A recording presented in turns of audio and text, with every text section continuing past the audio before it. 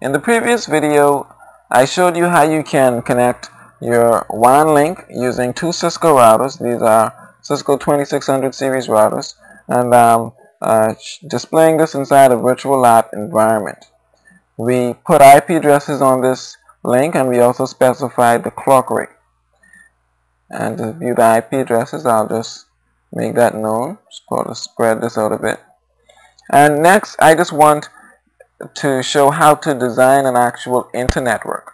And then in the next video, you will see how routing will take place between the different networks. So I'll begin by plugging in two switches, one on each side. And I'll add four hosts, two on each side. And you can sort of imagine these routers at two remote locations, one halfway across the world uh, at point A and point B is at the other half of the world. As long as you have a connection from one point to the next, you can form a basic internetwork using uh, the TCP IP protocol, which, which I'll be showing in this video. So I'll connect the switch to my router's fast Ethernet interface. I'll connect the host to the switch.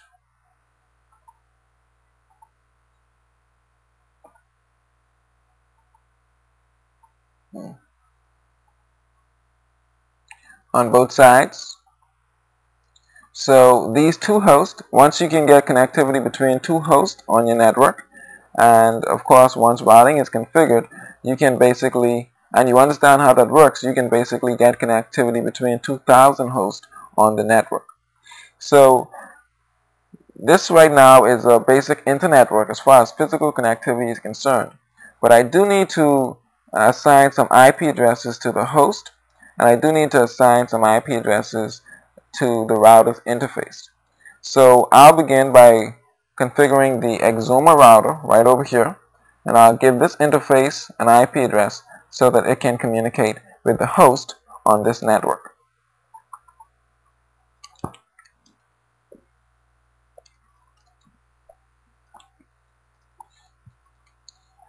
So I'm going to go into the Fast Ethernet 00 interface and I'll give it the IP address 192.168.1.1 and subnet mask 255.255.255.240.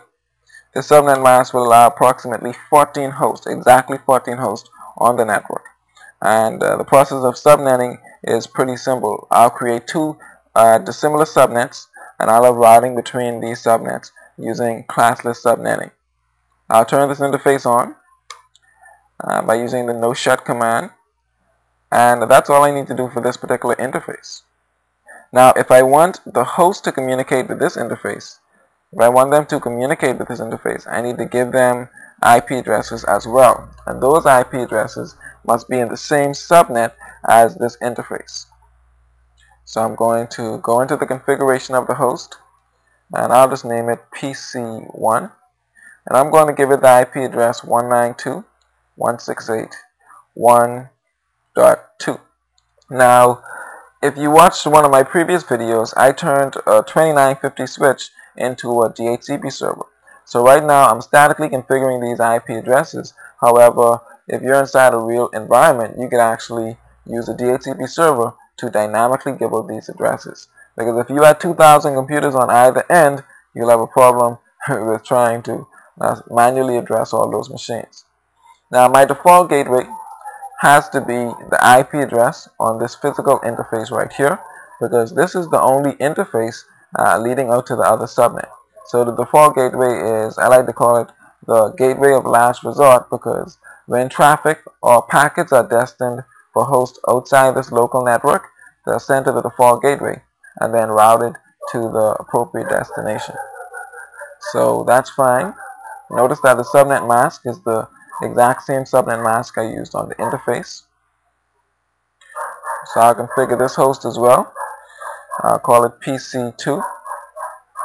I give it 192.168.1.3, 255, 255, 255, 240, And the default gateway, of course, is the same because, like I said, with host outside this local network, the default gateway needs to be the router's interface.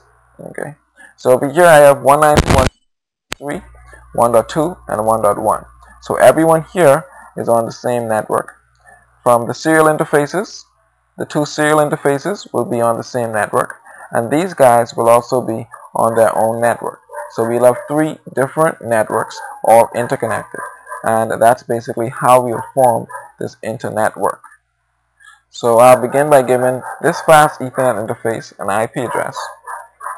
Go into privilege mode, global config, go into the interface, and I'll give it the address 192.168.2.1. Well, I'll give it 1.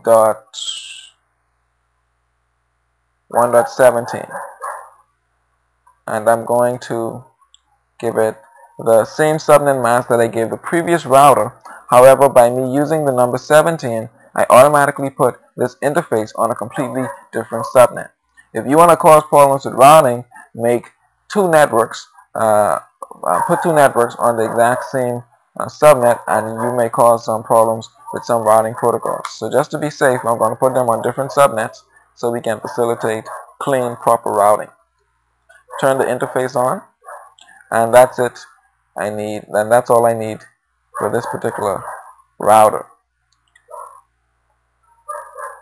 Okay, I didn't get a connection here. Let's see what I did wrong.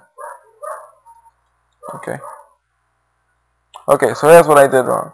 I configured this addressing on the Fast Ethernet 01 interface so as a quick fix, instead of going back and configuring it on another interface, I will just physically disconnect this cable from this port and I will connect our switch to the configured port, Fast Ethernet 01. There we have it. Now I'll just configure the host. I'll name this PC PC3. IP address 192.168.1.1 18 with the subnet mask.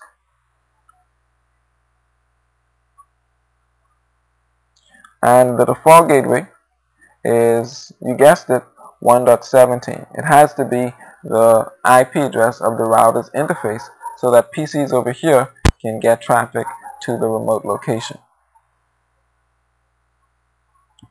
I'll configure this machine here as well.